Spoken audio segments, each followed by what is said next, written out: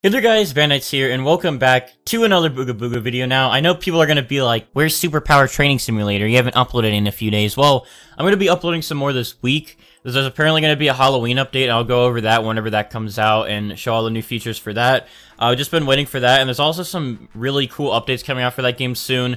So I've mostly been waiting for those updates to drop. I, I Besides that, I don't really know what to do on the game at the moment, so I'm just waiting for the new updates. Um, so today, though, we have some new information for Booga Booga. Now, Booga Booga, again, is something we've all been waiting for for updates for a long time. So, I'm going to run down some of the new features and things that Soybeen has shown us today and give you guys some more information on these updates. We actually have a release date now for when these updates are going to drop a beta testing date, all this other stuff, so we're going to go ahead and get into it in this video. So let's go ahead and get started. So first off, we're going to read this announcement that was actually posted a few days ago, and he says, this is a question that was a lot, a lot of people were asking, will the data be wiped for the next event? And he says, no, the new map will have a separate data from the main Booga game. Data will not transfer to the new map, but it's not being erased from the old map. You'll be able to choose which map you want to play. So, this is for all the people that were wondering if their mojo is going to be wiped and all that other stuff. Your mojo won't be wiped. You can still use it on the old map, but there is going to be a new map, so if you're going to play that new map, you won't have any of your data. You'll have to start fresh on the new map. Although the new map is going to have a bunch of new features and new content, and it's going to be really cool, so I really recommend giving the new map a try. Even if you're not going to have all your stuff, you're going to really want to give this new map a try, and we're going to show you those features in just a second. So the official update is actually going to drop on November 28th, so that's a month from today, and that's... It's, it's still a good bit away, but I mean, at least we have a release date for it now. We're going to be getting these updates on November 28th, but he does say, however, there'll be a beta testing starting in two weeks now. And he hasn't said if the beta testing is going to be just for the admins and the moderators, or if it's going to be for, like, paid access or anything like that. He hasn't specified that yet. We are going to be getting some kind of beta testing in two weeks, and if it is like a paid access type thing, I'll definitely pay for that, and I'll record it, and I'll get you guys some videos on the new stuff before it drops for the main game, and I'll be able to check all that out for you guys and all that kind of stuff. So about around two weeks is when we're actually going to finally see the beta testing for this new map or new game or whatever. We don't even, I guess it's like a new map, yeah. So we're going to see all that in about two weeks. Now besides that, we have some information in this update log with some new images and pictures and all this kind of stuff. And so we're going to go ahead and get into this, and these are some new features that are going to be added, and he's going to constantly be updating this update log section in the Booga Booga Discord. If you're in it, you can at least check this update log and you can see what new features he's adding. So all you gotta do is just go over to the update log and bam, here are the new features. So anyways, he said this new update, this new channel is the update log and he'll be updating this with progress made every few hours. So the first thing we can see here is we have a bird and it looks really detailed. It looks really nice compared to some of the animals on Booga. This thing actually looks like an animal because, you know, the other animals on Booga are just like a brick with like four legs and it looks, they look kind of dumb some of them. But this bird actually looks really nice and detailed, and it looks really cool. You can see some of the, the new map in the background with the new trees and everything like that. And so he says these birds will actually fly around the map, so that's going to be really cool to see these things actually flying around. And now that he's going to have the new AI system, they'll probably have pathways that they'll fly around the map on and all that. And they, they will drop meat, and that's really it. So, I mean, they're just more like a atmospheric kind of addition to the game. And you can actually shoot them down with a bow. So if you have a bow or something, you can go ahead and shoot these things down. It'll drop some meat for you. So, you know, just a new animal you can hunt. But it's still really cool that we're going to be able to see birds flying around the game. Now that's going to add, you know, kind of some more detail to the game, make it feel a little more, a little more alive. So that's pretty cool.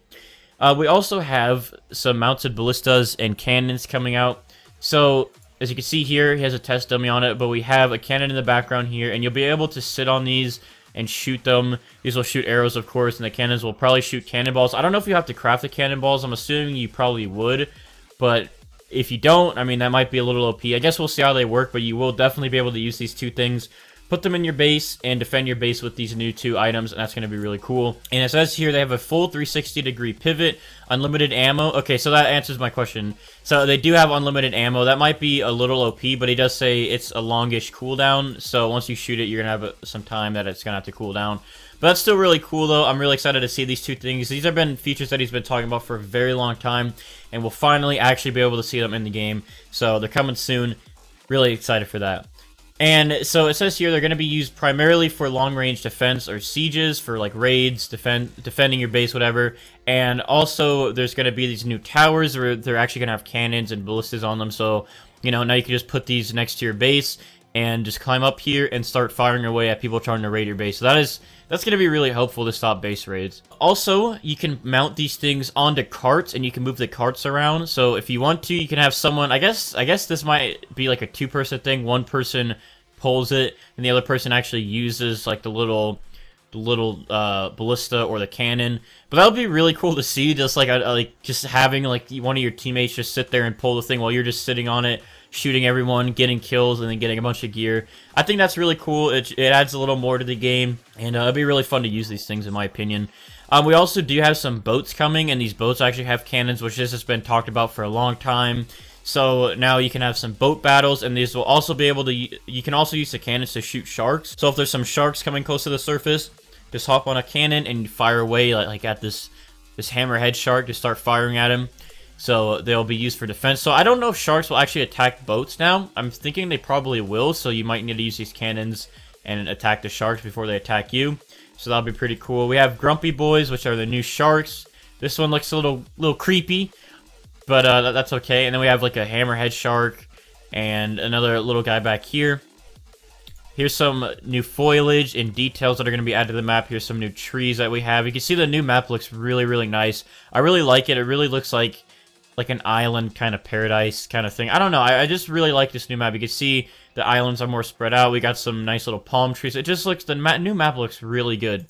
We also have like these ridges here. Here's like a little gif. You can see he's going under these like little ridges. There's like this little area down there you can build. A huge mountain kind of area. That looks really, really cool. I'm really excited for that. And we're also going to have some new caves like, as you can see here and there's going to be some new cave systems and down here he actually says that the cave system the cave systems are going to have some good rocks and good materials, I'm assuming. So you're going to be able to go down in these cave systems and actually find some good stuff. So it won't be like the old cave systems where you just, you know, there's just some whatever down there. It'll actually be like some good resources in some of these caves. So that'll be really nice to see. And we also have some features that are planned to be added, and that is Barbarian or Ant Tribes, so more NPCs to fight and attack and all that. Every single thing can be bought and sold with markets, which would be cool. So you could probably, I'm assuming he means like you can you can buy and sell cosmetic items on there and stuff. You can establish trade routes with other tribes. Now I'm really excited to see that because you know if you and another tribe you, you got some resources that you want to hand to each other, whatever, you can now establish a trade route with each other. Now that is going to be amazing to see. I'm really excited to see people using that. Now also with that being said, there'll probably be some people, some bandits, and other people that are gonna find these trade routes and probably attack them and all that. And I guess you'll probably, I'm, I'm assuming maybe you'll be able to see like the trade routes or maybe something will just happen over time.